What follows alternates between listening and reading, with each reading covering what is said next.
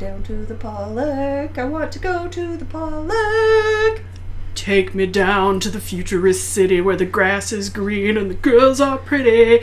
We'll never build your home. No, oh, no. All right, that's blowing everyone's ears out. You don't What? need your eardrums.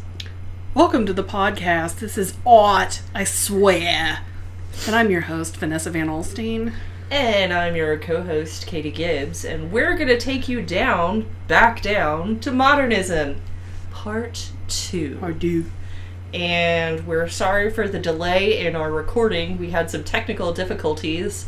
My family is technically difficult at the moment. Yeah, she's she's got the the sick the six, and then I had to take the cats to the vet, so that screwed up like one day. Technical difficulties, my friends. Yeah, technical purring difficulties.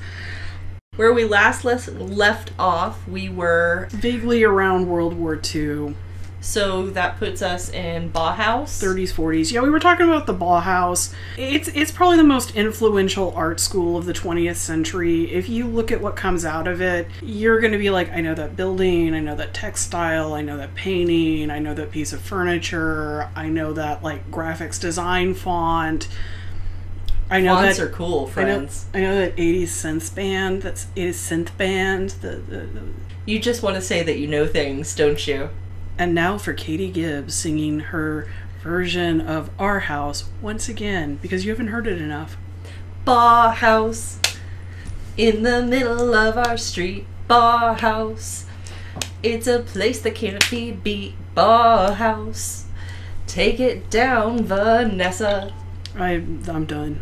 I, I already made fun of that other band from the 80s who's into metal and sings Paradise City. Is that did one of them wear a top hat? I'm like I'm so bad at the names of things. Like so much of my brain is allocated to lyrics to crappy songs, but I can't remember who sang them. Oh well. Alright, tell them about Bauhaus. I already told them about Bauhaus. We're done. No, um, Did we educate the people enough? no. I, during the period of time we were supposed to put this out, Stuff You Missed in history class actually put out a really cool uh, 30-minute episode on the women of the Bauhaus that I encourage you to listen to, and they do make the very legitimate point that I've said before. The bad part about the Bauhaus is they tended Slow down. You're going. A little. I like to talk as fast as I can. The Bauhaus tended to push women into textiles or weaving or uh, female appropriate arts. Art school version of home ec. So there were a few women artists who um, said, "Screw you guys! I'm going to be an architect anyway, even though my lady parts are lady parts." But they were few and far between, and I have to say that they probably had bigger cojones than some of the men there. Aside from the point, you should really go check out that podcast from Stuff You Missed in History class because I love those two ladies. They are fantastic. Somebody said I reminded them of Holly Fry, and I told them that Holly Fry ought to slap them. So That's fair. So, Holly, if you ever listen to this podcast, please go slap that person. Anyways, there's a lot of innovation that comes out of the Bauhaus. If you look at the, did I already say if you look at the artwork from it, you're gonna know what it is. Uh, you have to forgive us. This is our third time recording this podcast today due to actual technical difficulties. And my c- laptop insisting that I really need to install Windows 10. It's 99% complete. Uh, It just, it's been a day. So, anyway, Bauhaus is actually quite influential even today. It's very recognizable in, in the architecture that we have, in a lot of font styles, in. industrial design. Yeah. Ugh. Well, and there's innovations that come out of it. They really kind of perfect wood. They really kind of perfect plywood. Um, Cardboard, corrugated cardboard was one. and they had this idea that when you come together as artists and architects, and even people in the sciences later, which becomes more of a shift with like Moholy-Nagy. It's N A G Y. Okay. It you don't speak German, don't worry about it. I think he was Austrian, not that that's very different language wise.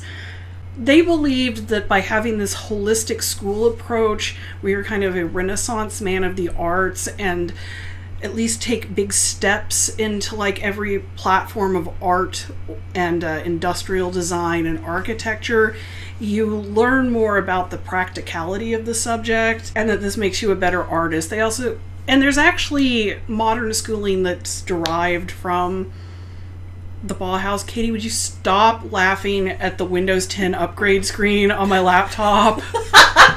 it is really distracting. The piece of artwork I would say look at is uh, Herbert Bayer's Universal Bayer from 1925. Bauhaus starts out in what's called the Weimar Republic. They kind of break up when Hitler comes to power, cause, and there are some members of the Bauhaus that are killed in the Holocaust. Well, because they would be deviants, And or some, some of them were Jewish, some of them were gay. uh, and they were artists who So, yeah, didn't support the didn't get right. So So a lot of them after that then break apart. There's the Bauhaus comes back together after World War II. Uh, they start some very prominent schools here in the United States. Some of them go off to Russia because, like most artists in this period, it's a bunch of communist bastards. Haha. You know, we have World War II, um, which is like World War One, the sequel. That's why they call it World War II. Oh my gosh. Um, so we actually touched on the horrors of war last time, so I don't want to belabor it this time. You can pick up any history book and learn about World War II. And the biggest thing is that a lot of artists end up in Europe.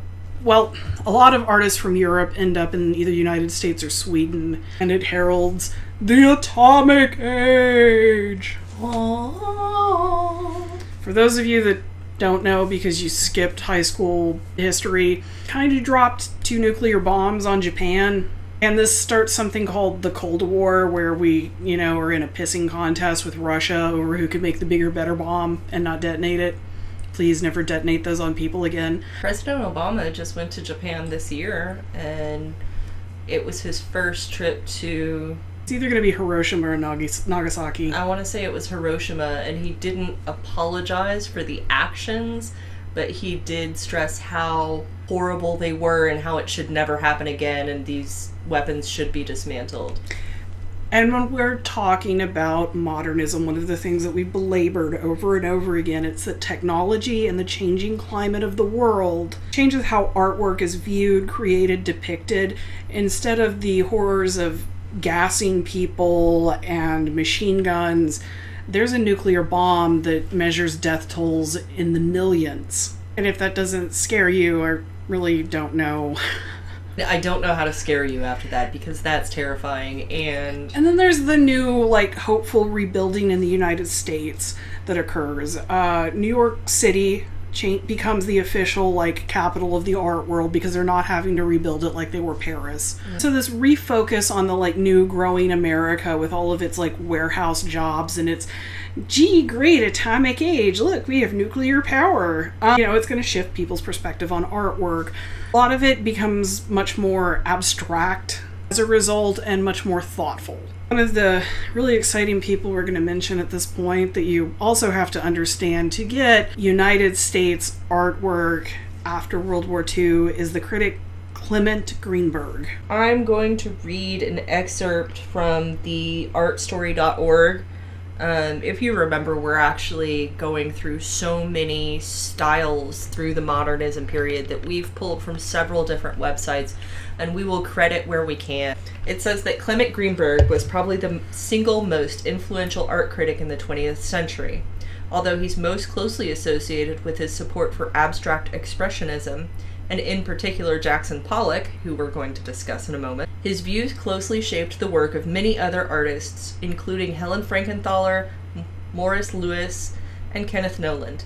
His attention to the formal properties of art, color, line, space, and so forth, his rigorous approach to criticism, and his understanding of the de- of the development of modern art, although they have all been challenged, have influenced generations of critics and historians. And there's actually a quote I would not deny being one of those critics who educate themselves in public. kind of sum up Greenberg. He writes this treatise on art that starts from the like peasants and the realist movement, drags it through what's existed of modernism, and comes out with the concept of the hand in art that is the gesture of the artist that shows off the essence of the art is more important than any form of subject or topic or trope that is really covered in art. And if you've ever seen the movie Pollock, Greenberg is in that movie. He's the chubby, bald art critic, and they don't really explain who he is in the movie very well. Like I feel like if you don't know about art, you wouldn't know that this is the critic that really made Jackson Pollock. He just kind of comes across as this like critical guru. Right. So if you watch that movie again, it might make a little more sp- sense knowing who Greenberg is. And he's really the break with Greenberg's tenants is going to be what causes postmodernism and beyond because at that point everybody kind of gives the finger and says, "Well, there is no rules." Whereas Greenberg's still trying to make this very academic and understood and he's part of what isolates quote modern art from the general public. He's not as interested in the public understanding as he is art just kind of existing for art's sake. Art for art's sake. Now there's a great transition for Jackson Pollock. And for Jackson Pollock, we're gonna start talking about the abstract expressionists. That's hmm. right, kids. Number one, Lavender Mist, 1950. By Jackson Pollock. We would describe it to you, but my friends, if you've seen a Jackson Pollock, you know vaguely what we are looking at. They called him Jack the Dripper. In the artwork that he's the best known for, he would lay it on the ground and rhythmically drip the art onto the canvas with these like very kind of dancer gestures. And it's about rhythm, it's about the mark of the artist and kind of the mechanical quality of like art and design at this point. So basically, we are to appreciate the creation of of the art by the artist as opposed to the piece of artwork itself. Yeah, we're not interested in narrative, whereas an impressionist piece kind of tells a story of a moment. A Pollock tells the story of the essence of creating art, quote, art for art's sake. When you're looking into it and you're trying to see something specific to the painting, that's not accurate. Take a step back, let the whole thing envelop you, and just have an experience with the raw basic element of art and gesture and movement. We're thinking about jazz again with Pollock. He listened to a lot of like really quick music while he did that because it helped with quote the rhythm of the piece. I will say that he didn't have a lot of forethought into how these works are going to stand the test of time because if I recall correctly, he used things like house paint. He used pretty much what he had on hand, and so now they're starting to deteriorate because they don't have the same consistency and durability as your regular oil paint. There are some Pollocks in museums that cannot be taken out of storage or they will fall apart the second they're exposed to light, which drives up the value of the existing ones that are stable, but it also brings in a question about the value of art, the long term value of art the long term importance of art and how does the fact that he didn't care enough to make it archival influence how you perceive the art? We're also talking about when Pollock was moving and when he was creating these works, he was smoking, I think almost a chain smoker. Oh, and yeah. if the ash fell in while he on the canvas while he's working, that ash stayed there, my friends. His footprints stayed there. Yeah, his finger. One of the ways they authenticate Pollocks is his fingerprints are all over them. So it's again, it's about the creation of the work. Yeah, and it it's also to use a word that we use a lot back then monumental. A lot of abstract expressionists are monumental. When we talk about de Kooning, they're very big. When we talk about um, Krasner, Pollock's wife, who deserved as much credit and fame as he got, but people like Greenberg weren't that interested in because she was a woman artist. And if you're going, oh, I heard Fel- Helen Frankenthaler when you were talking about him, yeah, uh, Greenberg kind of that was his girlfriend for a long time, Helen Frankenthaler. That's why he was interested in her career. I, I hate to say that. She's an awesome artist. She deserves the acclaim. She deserves the place in history. But so do several other, Other women female artists. artists. who were not sleeping with Clement Greenberg. Well, in this, there's also at this point, and all through modernism, an erasure of people of color are invisible during this period of time. It's not just women. It's it's only my lifetime, maybe about ten years before, that we've seen that even just kind of start to change, and there's still a lot of problems. So don't hashtag feminist me like it's some kind of dirty thing. Another artist that kind of straddles the line here between abstract expressionist and one of the next steps we take that's color field is Mark Rothko. He starts out with these big, bold, like painting gestural things that are like black and white, and it's this like line that's drug across in a rhythmic form on these monumental canvases. But he quickly moves over into what's considered some of the most boring art Color field. color field My disdain for color field.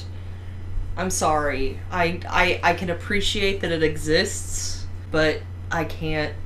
I, I cannot embrace this one. I love you. You know what? It's okay to have opinions about art. As we covered in the Manners podcast, though, don't be a dick about it in the middle of the museum. And I'm going to admit, color field, a lot of minimalism, I really, really struggle with. I tend to not like it. I have no problems with figures and art. In fact, I usually find them whimsical and fun. But color field is where you're going to hear a lot of people say that they don't get modern art or they don't like modern art. And the Rothko we're talking about is technically untitled, but it has a subtitle of Yellow Orange, Yellow Light Orange, and it's from 1955. And it is a monumental sized canvas of yellow orange, yellow, and light orange. Yeah, they just transition into each other using these squares. If you're ever in Houston, there's the Rothko Chapel, which is a it's a chapel, beautiful place to get married, but there's just these big black squares. And if you want to know how to appreciate this kind of art, if you'd like to approach it in person and try to understand it a little bit more, stand in front of it, let the color reflect onto you, and just kind of become lost in the color. Whatever thoughts you're having, whatever impressions you get, however it settles with you is correct. We are not looking for a narrative in this piece of work. Also, pro tip don't take me along. Yeah, it's it's the sleepy part. Well, let's let's mention a style that pops up about this time that's kind of fingering Mr. Greenberg with the middle magic bird finger, Oh, I like that finger. I use it a lot. and uh, it's pop art, Oh no, we're into Warhol land. Warhol land. And our example piece from this would be Warhol's Campbell soup cans, 1962. It's a grid of soup cans. Now here, Pollock, not Pollock. Now here, Warhol has removed the presence of the hand from the work. These are screen prints. He started out in advertising, and when you look at his pieces, they're identical except for the type of soup. Like it's, uh, you know, tomato next to chicken noodle, next to chicken stars, next to beef bowl, whatever the soup type.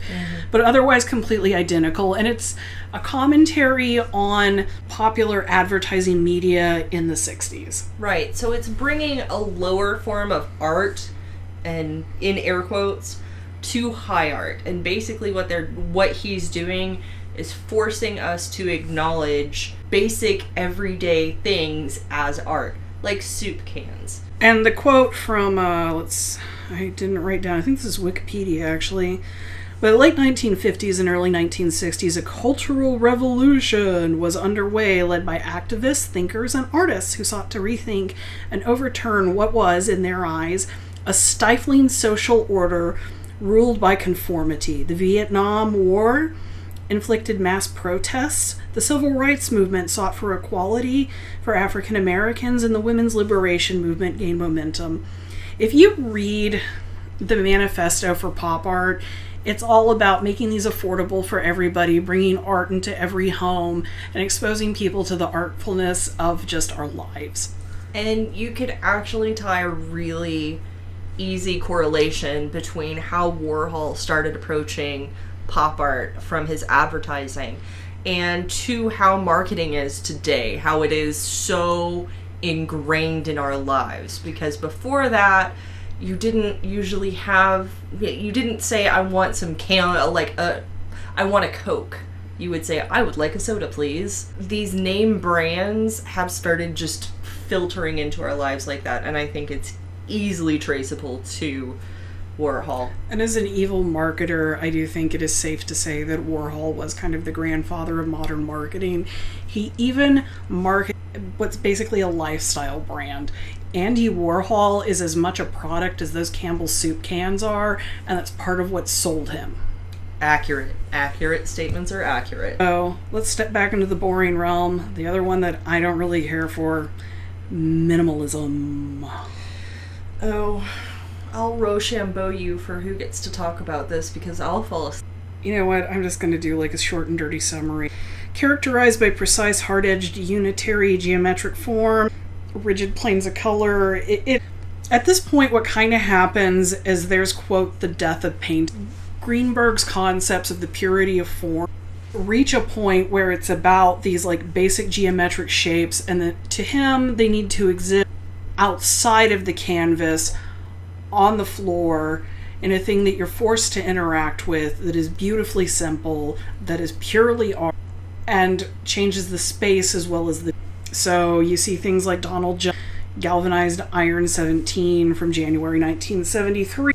And I think we discussed it at the beginning of We the did. first modernism podcast. But it is the four steel cubes lined up in a row, put against a wall in an installation at a gallery. And at this point, the concept behind the art has become so crucial. Judd doesn't actually make. He pays somebody or a, a manufacturing place to actually make the work. There's another artist similar to this that's from this period named Sol LeWitt. And you don't buy a Sol LeWitt, you buy the instructions to make a Sol LeWitt. I remember that. Yeah, and Judd's actually a uh, art critic as well, so he's shaping the concept of what is art at the same time he's producing art, which I, I feel like needs pointing out. I really feel like I've never seen a picture of him, but I feel like he should have the typical black French beret and some shades on, even though it's you're indoors, and like that cigarette, but it's one of those thin, long hipster cigarettes. I feel like he should be one of those people. Please don't dissuade me from my delusion. I can see you googling him right now. I want to double check. I, he, everything I remember of him from photos I've actually seen is he's kind of like proto hip. See, I, I know what I'm talking about. If you're going to manufacture a manufacturing of four steel cubes, yeah, Yeah, yeah, like he's kind of your 70s wild haired, bushy faced, like proto hipster. That's not ruling out the beret and the smoking and the glasses. Oh no, I'm sure it happened at some point. We all we all have a. Fa- if you're going, gee man, sounds kind of like conceptual art. That's because it's kind of really what comes next. It's all starting to bleed together because with the increase in connectivity with newspapers becoming more worldwide, with TV becoming so much broader and so uh, communication levels are reaching higher and higher and higher. So all these ideas are being thrown into one big melting pot. We don't have the internet yet, but it's still so much easier to communicate something than it was even 20 years before this. And I think it's interesting to consider that in a period where mass communication makes it to where everything is so much more available, that art becomes more and more about an idea. Because you're even starting to see things show up on television, like, you know, in the 80s we have Twin Peaks, which is surrealist film in a TV show. And very hard to watch. But it I've watched it just so that I can say I did. Thank you, David Lynch. Um, nice thing about conceptual art, though, which it's a period that really it, it really occurs in the '70s, and it goes alongside the feminist art movement. So, Oh, one of the big things that comes out of conceptual art is performance art, which is art that's about the essence of performance. It's not quite theater, it's not quite music, it's not quite da- and a lot of women are able to get on board with that because they can push the feminist agenda through their artworks. It's a stepping stone for a lot of like very hardcore political art because if you haven't noticed, art's always pretty political. It just keeps getting even more so after this point. And one of those female performance slash feminist artists I would like to talk about is Marina Abramovic. I've seen her recently on YouTube as part of a uh, a retrospective in 2010 and one of the pieces she performed was called "The Artist Is Present." She wore this beautiful red dress and sat at this kind of in these kind of oversized chair with like a regular table, and you were supposed to walk up, sit down across from her. She's got her eyes closed, and then she lifts her head up and opens her eyes, and you have this silent exchange. Well, there was a male artist that she did a lot of work with, and they decided at the end of one of their performance pieces that they were going to separate and never make work again. They hadn't seen each like 30 years. And he comes and he sits down, and she has no idea he's showing up. She has her eyes closed. So when she lifts her head and opens her eyes, there is her old lover, aged, changed, a new man. And she doesn't even hear his voice. They just have this like really moving, teary moment together, and it's beautiful. Building upon some other pieces that she did, like um, Rhythm Zero from 1974. Katie, go beat your dog. Down a bunch of items on a table, and it's it's everything from like a feather to a pair of scissors to a knife to a gun to a rose, and she just lets people do whatever they want on me. This escalated, and somebody actually cocked the trigger and put the gun to her. And at that point, they shut down the performance. And if you hear her talk about it, she was absolutely frightened. Like, she was convinced she was going to get shot because people had been cutting her clothes off and doing stuff like that. And if this reminds you of another piece by Yoko Ono where she let people come at her with a pair of scissors and they end up cutting off her clothes, same period. She did not break up the Beatles. Her breaking up the Beatles is highly exaggerated. Sorry, I just You don't have anything to add? I have nothing for this because Well, you know what? As somebody that's not that interested in contemporary art, is Abramovic at least interesting? she is, and I'm I feel better knowing the story behind it and more terrified at humanity. Yeah. No. It's, you know, it's performance art. It gets a little squirrely. But uh, also there's um, Joseph help me with the last name. Kusht. All right, I'm going to I'm I'm going to say Kusht. Kush. Uh, one and three chairs, 1965. And so the installation is a physical chair, a picture of a chair, and also the description of a chair.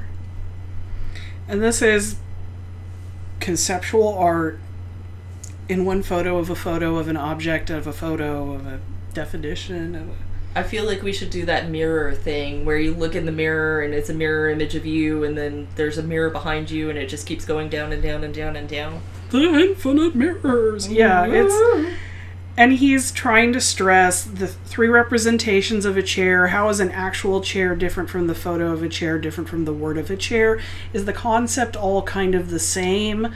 Is there an emblematic quality of chair? Or is it just still a chair? And it's okay with some of these periods. I think if you're like, well, I have an opinion one way or another, that's fine. They're asking you to think. Approach this as a thinking person, as somebody that wants to have an experience, not as somebody that expects a narrative. Once again, you're providing your own narrative. And it's legitimate to be like, this kind of reminds me of how purple would smell. Okay, that would work for lavender mist. The key notion to take home from this, your key metaphor, motif, message. That's the word I'm looking for. The key message is basically there are no wrong answers when you're looking in, into one of these pieces. Now, if you tell an artist that it looks like how purple would smell, they might look at you a little funny. In fact, I would bet they look at you a little funny. Yeah, unless maybe they threw violet water on it, which I've never done. Um, Anyways.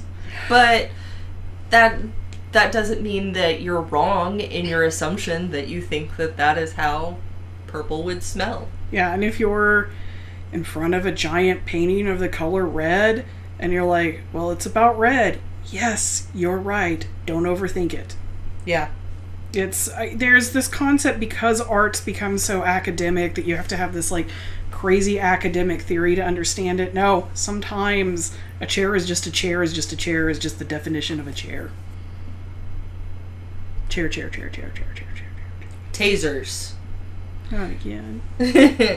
so at the end of conceptual art heralds hopefully the postmodernist movement. Postmodernism. It kind of starts in the early '80s. Oh, thank you. I mean, I think that I I have loved these podcasts because I have actually learned something and enjoyed Abramovic. Abramovich. Abramovich. Yeah, that's she's Eastern European. That's it's a Slavic name. It's just hard to say. Right.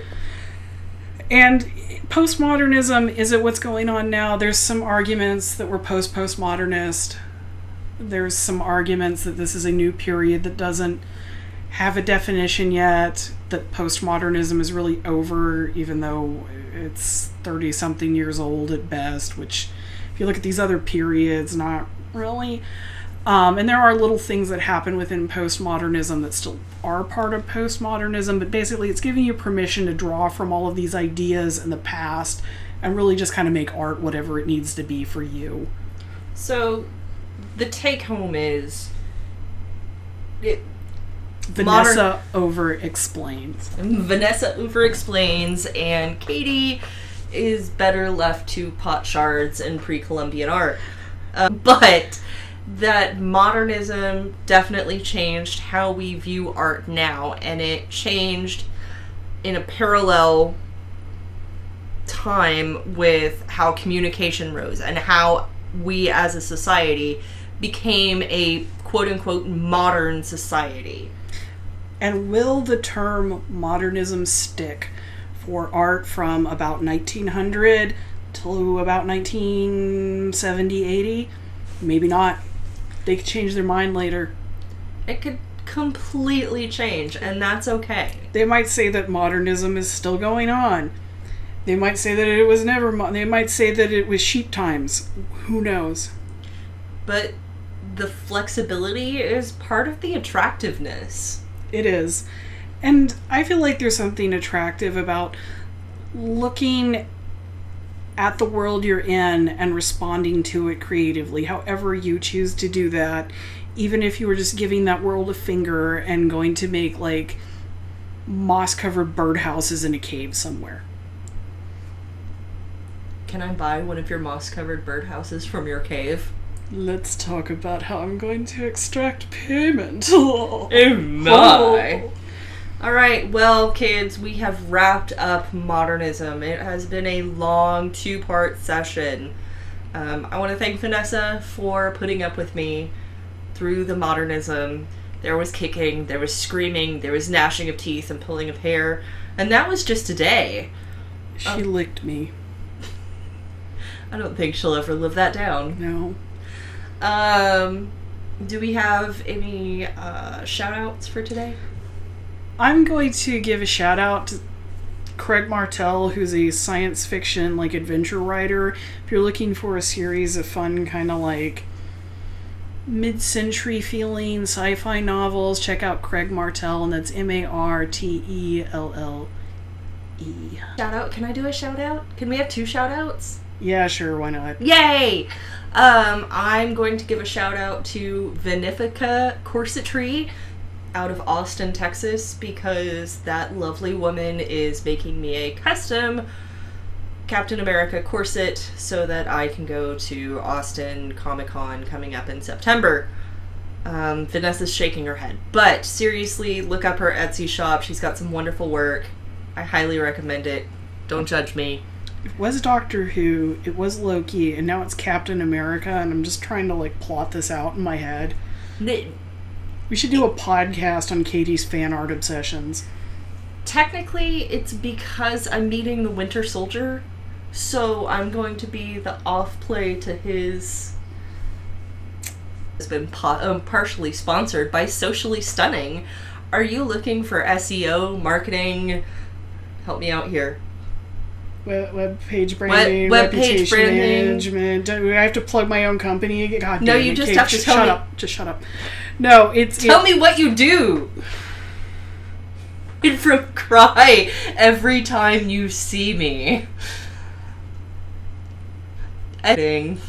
Yeah, social media marketing, brand management, reputation management, community management. Uh, She's I also write content for web pages, bloggers. If you need a web page built, if I don't do it, I know a subcontractor who does, and I can make managing them super easy. I am good with creatives because of experience.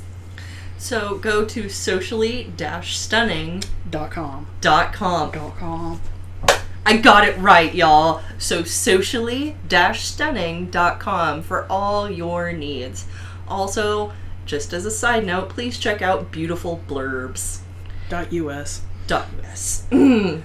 if you're an artist, if you're a writer, if you're somebody who does not want to talk about yourself, but you love that you have the creative output, If beautiful you need a bio. if you need a bio, if you need a book jacket, go to Beautiful Blurbs. That place is for you because we will talk about you. So you don't have to. Shut up, Katie. Have a creative day. Bye, y'all. See you next time.